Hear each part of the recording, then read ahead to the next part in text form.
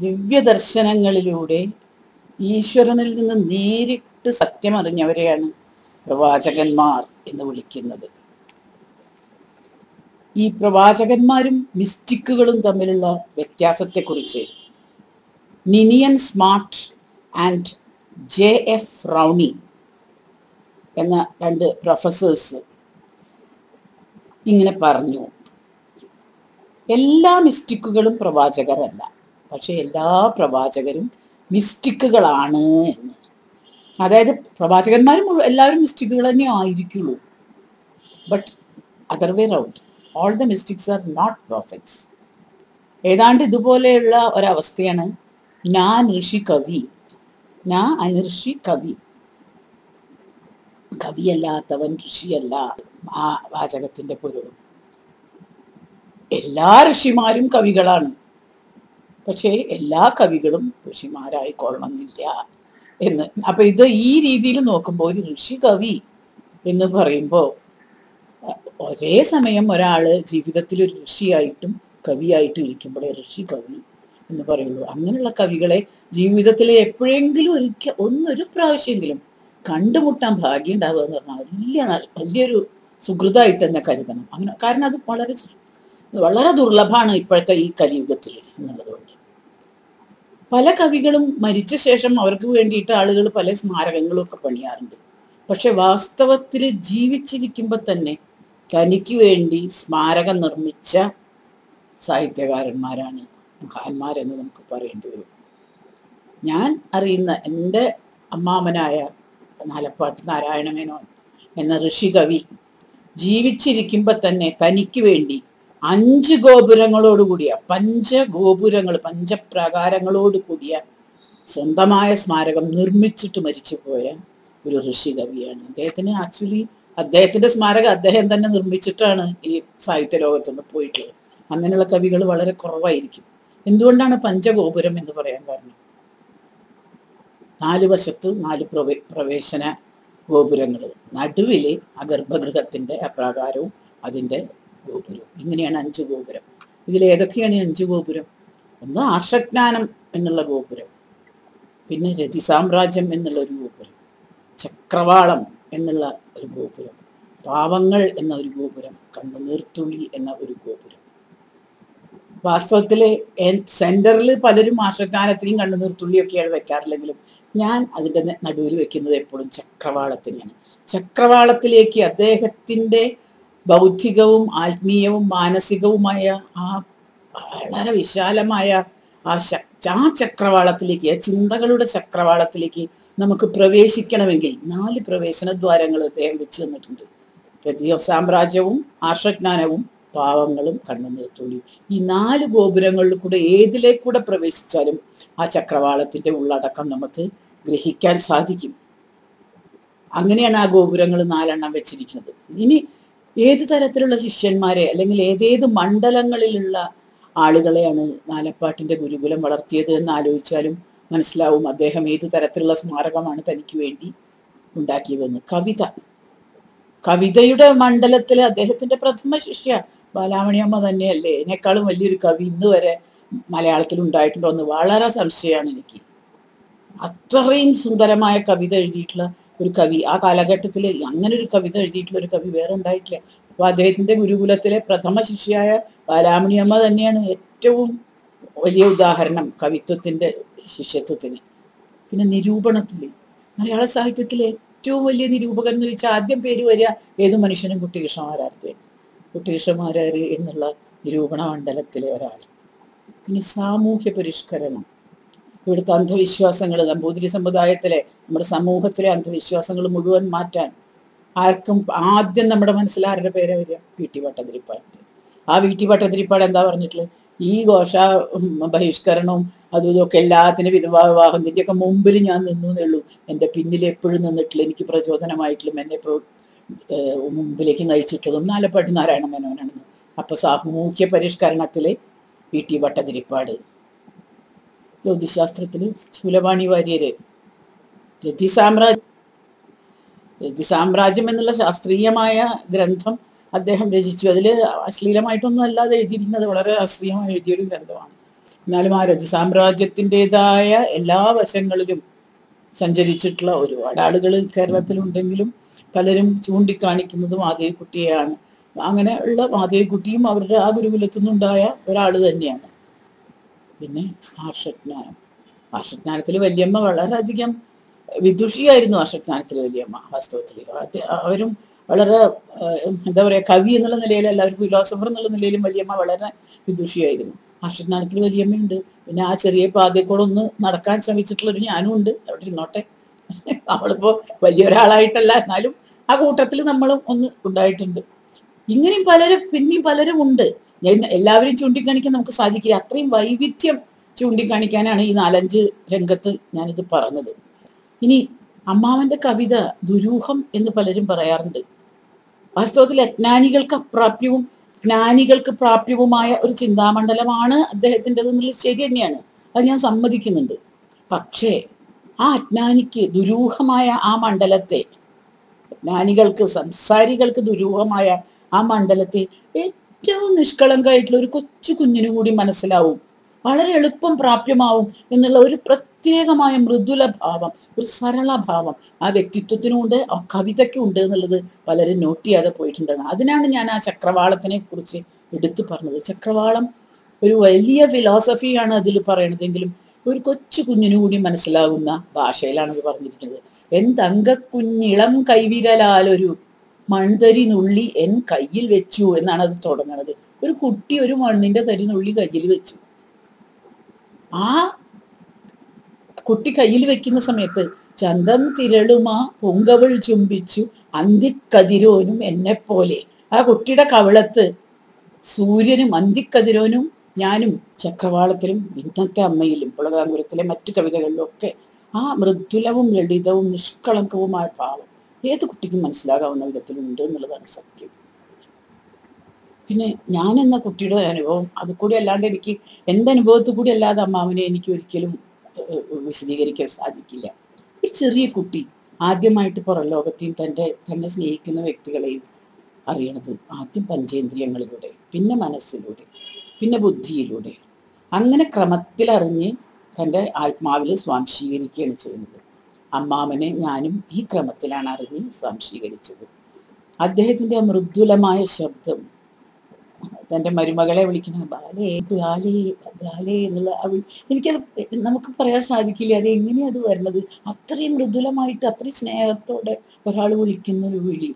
ആ ആ വിളി അതുപോലെ നർമ്മ മധുരമായിട്ടുള്ള സംഭാഷണം മൃദുലമായതാണ്. എന്നാൽ അതേ സമയത്ത് വളരെ ഹാപ്പി ആയിട്ടുള്ള പൊട്ടിച്ചിരി എപ്പോഴും പ്രസാദ മധുരമായിട്ടുള്ള പേഴ്സണാലിറ്റി പിന്നെ അദ്ദേഹം കുളിക്കാൻ പോകുമ്പോൾ ആ മെതിയടിക്ക് ഒരു താളമുണ്ട് ആ താളം മാത്രമല്ല വളരെ മൃദുലമായ ഒരു ശബ്ദമാണ്. സാധാരണ മെതിയടിയിട്ടിട്ട് ആൾക്കാർ ഠേന്ന് അങ്ങനെ നടന്നു പോയില്ല മൃദുലമായ ഒരു താളത്തിൽ താളക്രമത്തിൽ താളവിന്യാസത്തോടെയുള്ള ആ നടത്തം. ആക്ച്വലി ഇപ്പോഴും ഈ പ്രായത്തിലും എനിക്ക് ഒന്ന് കണ്ണടച്ച് കിടന്നാൽ അത് എന്റെ ചെവിയിൽ ഞാനത് കേൾക്കുന്നുണ്ട് എന്നുള്ളതാണ്. ആ- നാദങ്ങളൊന്നും എന്റെ മനസ്സിൽ എന്റെ ചെവികളിൽ നിന്ന് പോയിട്ടില്ല.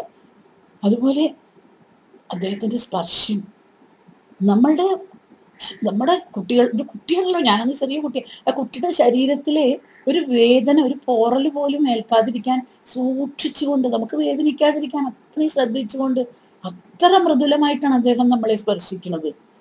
അങ്ങനെ അദ്ദേഹം മടിയിലിരുത്തി നമ്മളെ ലാളിക്കുമ്പോഴോ കഥ പറഞ്ഞു തരുമ്പോഴോ അല്ലെങ്കിൽ ഒക്കത്തെടുത്തിട്ട് മഴയത്ത് ഓലക്കുടയും ചൂടി തോണിയിടാൻ കൊണ്ടുപോകും തോട്ടിൽ കൂടെ തോണിയിട്ടിട്ട് ഇങ്ങനെ കുളത്തിൽ തോണിയിട്ട തോട് വരെ ഇങ്ങനെ നടക്കും. ഇട്ടിട്ട് മഴയത്ത് കുടയും പിടിച്ചിട്ട് എന്നെ ഒക്കത്ത് വെച്ചിട്ട്. അപ്പോഴൊക്കെ എനിക്ക് വേദനിക്കരുത് എന്ന് അദ്ദേഹത്തിന്റെ കയ്യിൽ മനസ്സിലുള്ള ആ വിചാരം ആ കയ്യിൽ കൂടി ഉണ്ടെന്നുള്ളതാണ്. അത്രയും മൃദുലമാണ് അദ്ദേഹത്തിന്റെ ആ മനസ്സ്. അതുപോലെ ഊണഴിക്കാതിരിക്കുമ്പോൾ അദ്ദേഹം പ്രമേഹമുള്ള കാലത്താണ് എന്റെ ജനനം. അപ്പോൾ ഗോതമ്പ് ചോറും പരിപ്പും കൂടിയിട്ട് ഒരു ഒരു അപ്പം പോലെ ഇങ്ങനെ വെക്കുക ആ അപ്പത്തിൽ നെയ്യ് കൂട്ടും.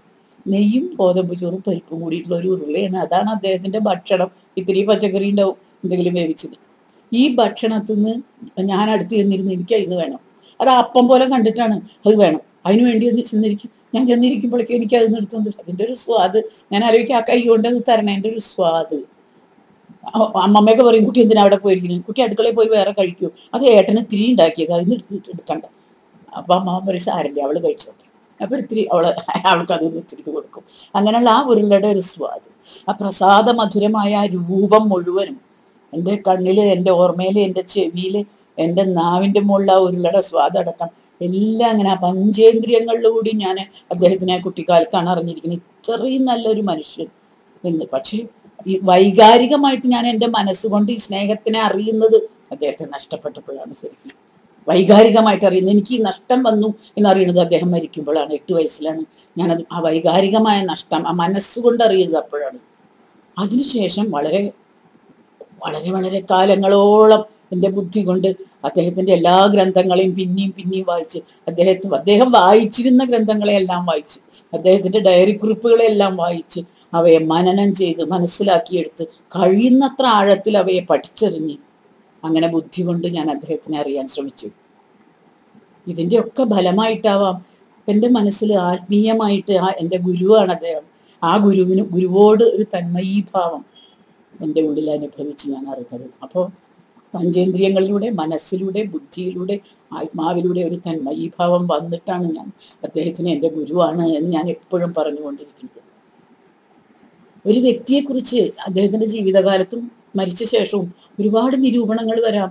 വിമർശനങ്ങളും വരാം. ആസ്വാദനങ്ങൾ മാത്രമല്ല വന്നിട്ടുള്ളത് അദ്ദേഹത്തിനെ കുറിച്ച് ആസ്വാദനങ്ങൾ ഒരുപാട് വന്നിട്ടുണ്ട്. എം ലീലാവതിരിയൊക്കെ ഒരൊറ്റ ലേഖനം വായിച്ചാൽ നാലപ്പാടിന്റെ പദ്യകൃതികൾക്കുള്ള ആ നിരൂപണം ആ അവതാരിക ഒറ്റ പ്രാവശ്യം വായിച്ചാൽ അദ്ദേഹത്തിന്റെ കംപ്ലീറ്റ് ആയിട്ടുള്ള നമുക്ക് ആ ആസ്വാദനം എത്രത്തോളം പോവാം എത്രത്തോളം ഡീപ്പായിട്ട് പോവാം. അതുപോലെ കുട്ടികൃഷ്ണമാരാരുടെ ഞാൻ ഇഷ്ടപ്പെട്ട കവി എന്ന് ആയിരത്തി തൊള്ളായിരത്തി നാൽപ്പതിൽ വന്ന ലേഖനാണ്. അത് വായിച്ചറിയാം നമുക്ക് ആ ആസ്വാദനത്തിന്റെ ലെവൽ പക്ഷെ വിമർശനങ്ങളെ കുറിച്ച് നമ്മൾ പറയണം. കാരണം വിമർശനങ്ങളാണ് ഒരാളിനെ വാസ്തവം പറഞ്ഞാൽ ശക്തമാക്കുന്നത്. അദ്ദേഹത്തിന്റെ മൂന്ന് ഘട്ടത്തിലായിട്ട് അദ്ദേഹത്തിന്റെ പേരിൽ വന്ന വിമർശനങ്ങളെ ഞാൻ ഇങ്ങനെ തിരിച്ച് വേർതിരിക്കാം. ആദ്യകാലത്ത് അദ്ദേഹത്തിന്റെ കവിതകൾ വളരെ സംസ്കൃതത്തിന്റെ ഒരു അതിപ്രസരമുള്ള കവിതകൾ ഫോർ എക്സാമ്പിൾ സുലോചന കലാതിമൂലം കമലാസ്ത്രനൈപണി വിലാസം ഈശാന മനോവിനോദനം കുലാചലാതീശ സുധാവലോകനം ഫലായുധാനന്ദം എനിക്ക് നൽകണം. ഇങ്ങനെയുള്ള ഒരുമാതിരി പ്രാസൊക്കെ ഒപ്പിച്ച് സംസ്കൃത ശ്ലോകം മാരുത്തിയാണ് സുലോചന. എന്നാൽ സുലോചനയിൽ അത് മാത്രമല്ല ഉള്ളതും. കൃതാന്തനും കൂടി വിറച്ചു ചൂളിടും പ്രതാപവാൻ തന്മകൻ ഇന്ദ്രജിത്തുമേ. ഇതാ കടുങ്കാലവശത്തിലാണ്ടുവെന്ന് കാശു കേട്ടൊന്നു നെടുങ്ങി രാവണൻ എടുക്കുക എങ്ങനെ ചന്ദ്രഹാസം കടുത്ത കൃത്യത്തിന് അവറ്റിനിപ്പോഴേ. കൊടുത്തിടാം കൂലി അതല്ല എങ്കിലൻ മിടുക്കുതുച്ഛം ദശകണ്ഠനല്ല ഞാൻ. ഏതാണ്ട് ഒരു ഒരു വീരം കൂടുതലുള്ളൊരു കവിതയാണത്. ഈ കവിതയിലെ അതുപോലെ ദൈവഗതി പുകയിലെ മഹാത്മ്യം. ദൈവഗതി ദേവസ്വത്തിലെ ഭരണാധികാരികളെ പറ്റി കളിയാക്കി പറഞ്ഞിട്ടുള്ളതാണ്. പുകയില മഹാത്മ്യം അതുപോലെ നമ്മുടെ ഹിന്ദുക്കളുടെ ഇടയിൽ ഒരു ഇതുണ്ട്. എന്ത് കണ്ടാലും അതിനൊരു മഹാത്മ്യം പാടും. ശിവരാത്രി മഹാത്മ്യം മറ്റേ മഹാത്മ്യം ഈ മഹാത്മ്യം അതിനെ കളിയാക്കിയിട്ട് പറഞ്ഞാൽ ഇനി പുകയില വന്നാൽ അതിനെ പറ്റി പുകയില മഹാത്മ്യം പാടും എന്നുള്ള ഒരു സാറ്റയറാണ് അത് ശരിക്കും. ഇങ്ങനെയുള്ള കാര്യങ്ങളൊക്കെ വന്ന കാലത്ത് അദ്ദേഹത്തിനെ കഠിനമായിട്ട് വിമർശിച്ചത് പണ്ഡിതന്മാരാണ്. പാരമ്പര്യങ്ങളെയൊക്കെ നിരസിക്കുന്ന വളരെ പുരോഗമനവാദിയായിട്ടുള്ള ഇദ്ദേഹം ഒരു നിരീശ്വരവാദിയാണെന്ന് വരെ ആളുകൾ പറഞ്ഞു. കാരണം ദേവസ്വം മാനേജരെയും പുകയില മഹാത്മ എഴുതണ ഒരു ഒരു ഒരു സമ്പ്രദായത്തിനെ ഒക്കെയാണ് കളിയാക്കണത്. അന്ധവിശ്വാസികളെ സൃഷ്ടിക്കുന്ന എല്ലാ സാമ്പ്രദായിക ഇതിനെ അദ്ദേഹം ഉദ്ദേശിച്ച് പരിഹസിക്കുകയാണ്. അപ്പൊ ആ കാലത്ത് അദ്ദേഹത്തിന് വന്ന രണ്ട് വിമർശനം. ഒന്ന് ഈ പ്രാസദീക്ഷയോടുകൂടി സംസ്കൃതത്തിന്റെ പിടിച്ചു പിടിച്ചു പോകുന്നു എന്നുള്ളതും മറ്റേത് ഇങ്ങനെ ഒരു ഒരു സാമൂഹ്യത്തിൽ സാമൂഹ്യ ബോധം ഒരു വല്ലാണ്ട് വന്നതുകൊണ്ടുള്ള ഒരു പ്രശ്നമാണ് വന്നത്. അത് പക്ഷെ അദ്ദേഹത്തിന്റെ കുട്ടിക്കാലത്താണ്. രണ്ടാമത്തെ ഘട്ടം ആയിരത്തി തൊള്ളായിരത്തി ഇരുപത്തിനാലിൽ കണ്ണുനിർത്തുള്ളി ആയിരത്തി തൊള്ളായിരത്തി ഇരുപത്തി അഞ്ചിൽ രണ്ടാമത്തെ ഘട്ടം എന്ന് ഞാൻ പറയുന്നത് കണ്ണുനിർത്തുള്ളിയുടെയും പാവങ്ങളുടെയും ഘട്ടങ്ങളെയാണ്. കണ്ണുനിർത്തുള്ളിക്ക് രണ്ടു തരം വിമർശകരുണ്ടായി. ഒന്ന് സ്തുതിപാഠകരും ആസ്വാദകരുമായിരുന്നു. മറ്റേത് അതിൽ പ്രാസദീക്ഷ ഇല്ല സുലോചനയിൽ പ്രാസദീക്ഷ ഉണ്ട് എന്നായിരുന്നു കേസ്. ഇതിലിപ്പോ പ്രാസദീക്ഷ ഇല്ല എന്നാണ് കേസ്.